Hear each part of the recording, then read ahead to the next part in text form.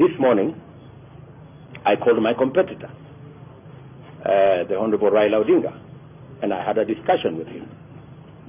And we agreed that uh, whatever the outcome of this election,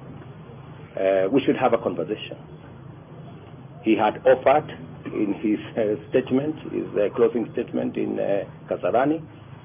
that he would be available for a handshake, you remember? And I said that uh, I'd be available for us to have a cup of tea uh, because there are areas we can we can agree on moving the country forward um, in the context of those of us who will running who will be running the executive, and I'm sure uh, my competitor will take up his role